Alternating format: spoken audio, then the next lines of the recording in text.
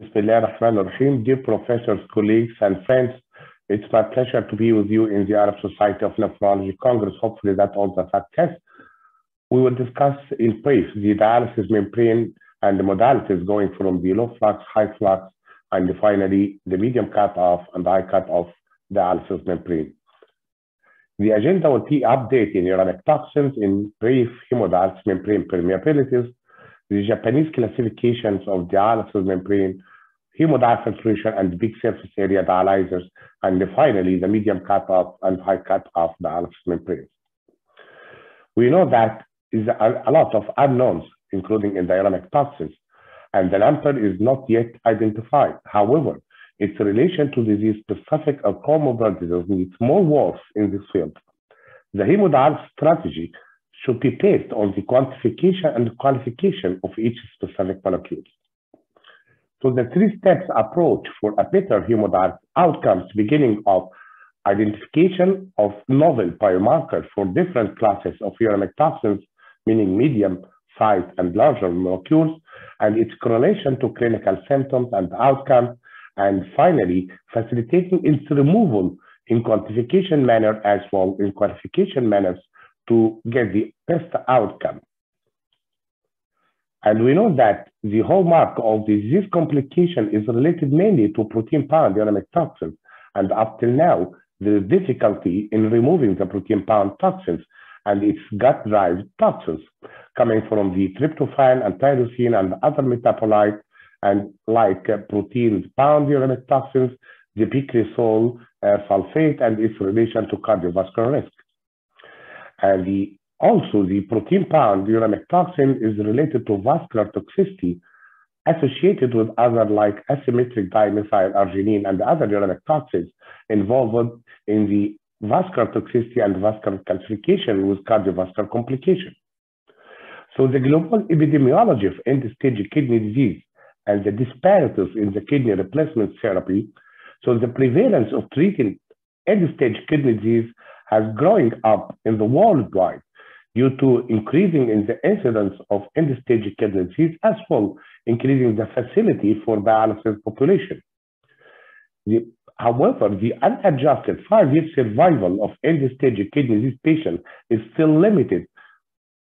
We can see that it's 41% survival going to 48% and finally 60% in Japan in the best dialysis modalities. So we need more personalization of hemodialysis, more patient risk assessment, planning therapy, monitoring. However, unfortunately, much of the damage to the vascular system might already be established at the moment patient starts on renal replacement therapy, which might explain why intervention fail to demonstrate an improvement in the outcomes in terms of hard endpoints such as cardiovascular mortality. So in the dialysis membrane, we are going from the low flux to medium flux, high flux, super flux, then medium cut off, high cut off, and finally the by plasma filter. And this is the current molecules that each flux can remove. So we can see that high flux can remove up 20,000 Dalton, while super flux is more from 30,000 to 40,000. And the medium cut off can in increase or expand the dialysis uremic toxins up to 45,000. However, hard cut-off increasing the amount to the albumin level is associated with more albumin loss, and the plasma filter, of course, carry toxins and molecules like immunoglobulins up to 2 million Dalton. We are interested here in this field, and all the dialysis membrane are going from the superflux and medium cut-off range. And this is typically the sieving coefficient curve going from the low flux to the high flux and the medium cutoff. And this is high cutoff is approaching the albumin and it is not advised to be used in the clinical situation of routinely in dialysis population.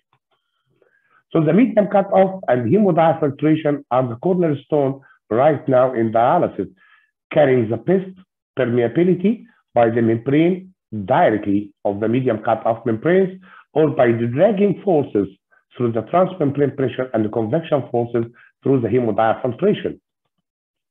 And both of them when you can see that the dialysis prescriptions and the dialysis membrane progression also improving in the biocompatibility, that meaning that it's more inert, more hydrophilic, and more uh, patient-friendly for the blood circulating each time on dialysis.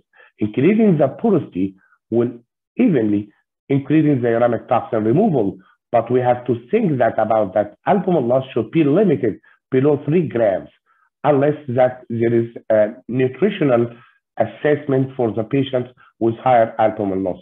So this is a dialysis membrane technology going up, I mean, both the inert material, more hydrophilic, more friendly, as well more permeable. So the ideal membrane, more biocompatible, optimum ultrafiltration, remove the middle molecules efficiently, as well is uh, more and uh, more less thrombogenicity, so we can decrease the anticoagulation during the dialysis session.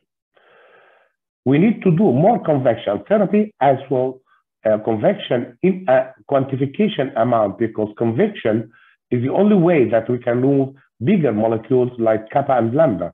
So convection therapy in high flux was calling it uh, obligatory or internal filtration, hemodiafiltration, or in hemodiafiltration post-dilution or pre-dilutional in those quantification manner.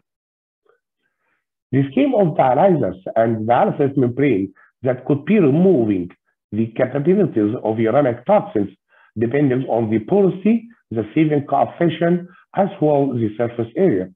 While the protein bound uremic toxin could not be removed by any way of the current dialysis membrane unless that it's removed by albumin.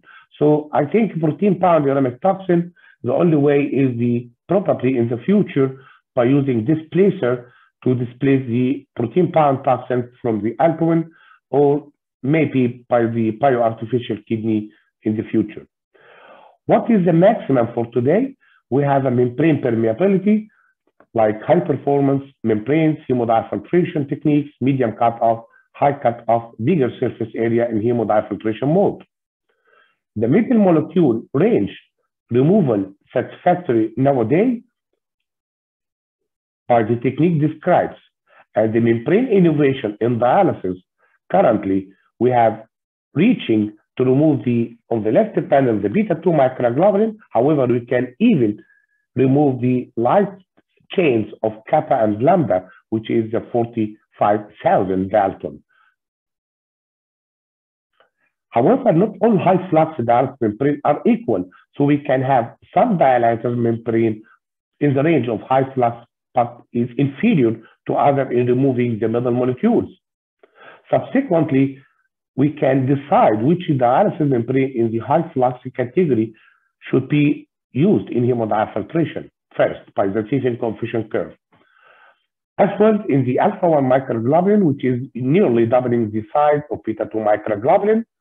And this alpha-1 microglobulin is increasing interest because its relation to inflammation is obvious. So the category of dialysis membrane is a low flux, high flux, medium cut off protein leaking, and high cut off membranes that depending on the albumin loss and sieving coefficient of the bigger molecules. While the albumin loss in the protein leaking and high cutoff could be in the range of 9 to 23 gram per session, which is extremely higher than the physiological turnover of albumin. So its use is very uh, uh, limited. While the medium cutoff, the albumin loss is usually in the range of 4 gram per session, and the high flux is less by uh, 0.5 gram per session. So the place of larger pore membranes in the treatment portfolio of patients on hemodialysis and the novel insight of more middle molecules ranging up to 45,000 Dalton might substantially contribute to the enhanced cardiovascular morbidity and the mortality. And here is the online hemodiafiltration we always use the post-dilution hemodiafiltration. However, the pre-dilution hemodiafiltration could be used in patients with lower blood flow or patient needs lower doses of anticoagulation. Ain Shams University, we did a lot of clinical studies on the hemodiafiltration, and we found that on the long-term hemodiafiltration technique, we can have some of the DNA methylation improvement. And obviously that the hemodiafiltration techniques decreasing the DNA methylation as in epigenetic changes is dependent on the doses of convection. Increasing the doses of convection, improving the DNA methylation. So beyond the beta-2 microglobulin, there is hundreds of uremic toxins bigger than beta-2 microglobulin that should be removed by the dialysis technique. The reappraisal of hemodiafiltration for managing uremic complications, including organ dysfunction, inflammation, oxidation, stress, and compared with hemodialysis, hemodiafiltration lowers middle molecule weight uremic toxins more effectively and appear to be related to better survival. So the clinical effect of hemodiafiltration, depending on the convection volume, the blood flow and substitution volume used. While there is need, urgent need for the vascular access to improve the maximum possible doses of quantification and filtration fraction. The development of online hemodiafiltration in Japan is increasingly over the last few years, as well in the Middle East and Europe. In the Middle East, there is increasing uh, in incidence of uh, patients using hemodiafiltration technique. While the, all the clinical studies reveal that dialysis-related amyloidosis improvement, dialysis-related hypotension improvement, improvement in anemia, quality of life, restless leg syndrome, and inflammation. As well as the observational studies, there is improvement in the cardiovascular risk and it's related to convection volume with overall decrease in mortality, morbidity. However, increasing the convection volume above that limit, 23 or, or 25 liters per session in post-dilution mode, can carry more albumin loss. So FGF23 as well, beta-2 microglobulin, are uh, importantly removed more efficiently in hemodiafiltration with significant reduction ratio. The clinical trials and randomized trials on clinical performance of the same dialyzer showed that if we are using the same dialysis membrane in high flux mode and converted that to the hemodiafiltration, we have augmented removal by the convection technique of the middle molecules. And finally, the dialyzer classification depending on not on the receiving coefficient alone, however, but to the as well the beta-2 microglobulin clearance and classified by the Japanese into five classes from type 1 low flux hemodialysis to type 2 to type 3, which is the high flux dialysis. However, type 4 and type 5 is increasing of the interest of more increasing of the clearance of beta-2 microglobulin. Type 4 and type 5 beta-2 microglobulin in the range of 70 milli per minute seems to be the optimum. On the clinical studies for the Japanese, they found that the more permeable dialysis membrane is the more better outcome in dialysis population. And this is consistent in, in the type 4 and type 5 dialysis membrane. And the adjusted for risk reduction with hazard ratio for patients with dialysis in the range of type 4 is much better because this risk reduction value need to be correlated more to quantification of removal of the uremic toxins. So the annual data report for the 2018 from the Japanese 37% of patients on Japan is going for hemodiafiltration, while the rest of the patients on Japan, nearly 60% on high flux, more permeable dialysis membranes. Again, coming to the larger dialyzer surface area above 2.0 square meter surface area, and this recent publication that dialyzer surface area is significantly predictor of mortality in patients on dialysis. And they found that the dialyzer classification according to the surface area going from the small 1.5 till the X large dialyzer, which is a more 2.0 square meter surface area. And the clinical study revealed that patients with more larger dialyzer had better outcome. And the hazard ratio for all-cause mortality for the three dialyzer surface area group is better in patients with the X larger dialyzer more than 2.0. And in Chelsea University, we have intention for using more permeable dialysis membrane and bigger surface area up to 2.6 square meter surface area dialyzer. And we innovated that uh, three years ago in the Budapest by using the surface area 2.6 and more permeable dialysis membrane sufficient to remove middle molecule efficiently to up to, to 0.7. And in our result, we found that we can remove efficiently a lot of uremic toxins like kappa and lambda light chain, alpha-1 microglobulin, interleukin 6. As well, it's importantly in COVID-19 patients, we know that uh, from inflammation. So in hemodialysis, in the blue panel or in the red panel in the hemodiafiltration technique using the bigger surface area, 2.6 surface area, can achieve markedly quantified and qualified removal of the metallic molecules. And the alcohol loss in a total dialysis session is about only 2 grams. So it is safe to be used. However, the transmembrane pressure is in the range during the four hours of dialysis, meaning that the dialysis membrane is still healthy and fresh all through the dialysis circuit. We showed that as well, beta 2 microglobulin could be removed by 82%. Tumor necrosis factor could be removed easily in hemodiafiltration technique using permeable dialysis membrane. Asymmetric free form of asymmetric dimethyl arginine could be removed as well between high flux and hemodiafiltration technique. So the mortality risk in patients on hemodiafiltration need more attention on that because there is changing in the volume and changing in the percent all over the world. While in the Gulf area, in the last DUS, that low KT over V was more common with larger body weight and shorter dialysis time. However, hemodiafiltration was used for 80% of patients in Bahrain, 55% of patients in Kuwait, 28% in United Arab Emirates, 16% in Oman, and 5% in Saudi Arabia. However, this percent is increasingly year by year. So we expected that we have more hemodiafiltration.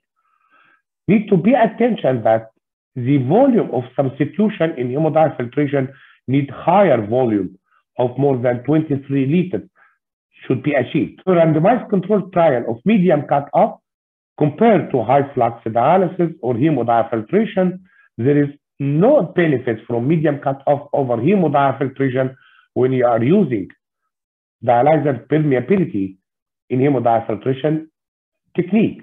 With cardiovascular risk comparison between medium cutoff and high flux hemodialysis in hemodiafiltration are equivalent in the outcome in both LV reduction ratio as well in the cardiovascular risk, as well in the survival.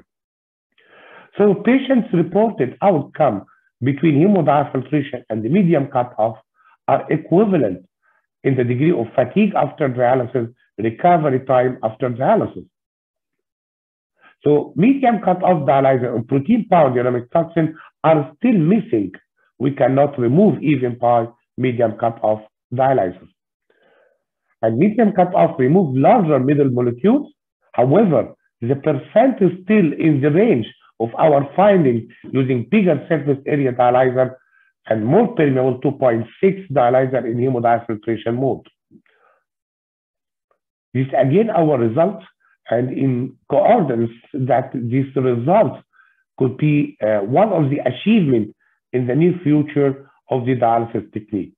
Lastly, the hard cutoff dialysis is going uh, down. Uh, the requirement to use high cutoff dialysis is less. And if you can see this too much replication, especially in patients with myeloma. And however, the impact of high cutoff hemodialysis in all-cause mortality is borderline. So we can go directly in patients with myeloma with medium cutoff or just high permeable hemodialysis filtration technique in the same. So finally, Mr. Chairman and colleagues, the membrane development over the last decade is going for more porous membrane that permit more qualification and quantification of larger uremic toxin using more permeable and larger dialyzer surface area in hemodiafiltration technique are field of interest to have better outcomes in dialysis population. And thank you very much.